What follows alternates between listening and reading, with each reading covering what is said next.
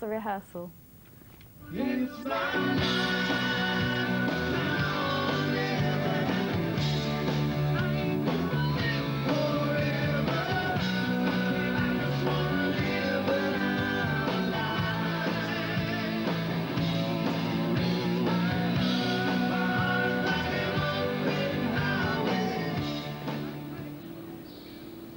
Well, they didn't sound that bad, I don't think. No, it's pretty good for a rehearsal. Did you get a chance to talk to them?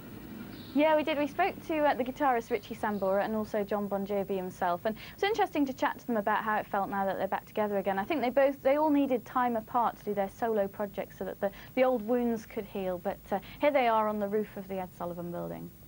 We had a real good time making this record. Uh, Jon and I also produced it together, which was a cool thing. So that made a big difference, I think. I think I heard you say, Jon, that you felt comfortable in your own shoes. Correct. Why is that?